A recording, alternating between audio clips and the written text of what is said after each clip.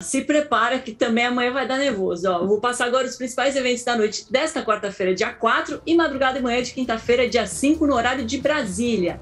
Às nove e meia da noite. Peraí, que até pulou minha agenda aqui, ó. Nove e meia da noite, depois das medalhas de prata de Kelvin Raíssa no Street Skate, o Brasil agora tem chances reais de medalha no parque masculino, com Luiz Francisco, Pedro Barros e Pedro Quintas. Os três estão no top 10 da categoria, hein? E a final está marcada para meia-noite e meia.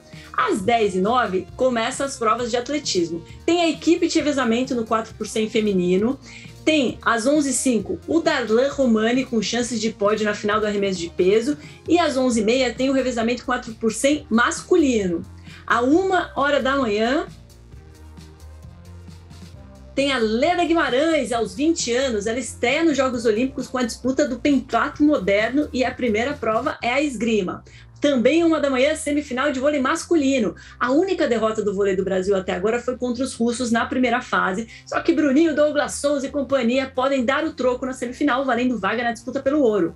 2 e 15 a boxeadora Beatriz Ferreira é a favorita ao ouro na categoria 60 quilos e luta por uma vaga na final. Na sequência, tem o Herbert Conceição, que merece para pi ele já tem pelo menos o bronze na categoria até 91 quilos no boxe e ainda chamou atenção por soltar este palavrão ao vivo em rede nacional depois de garantir a medalha. Ele merece pi mesmo.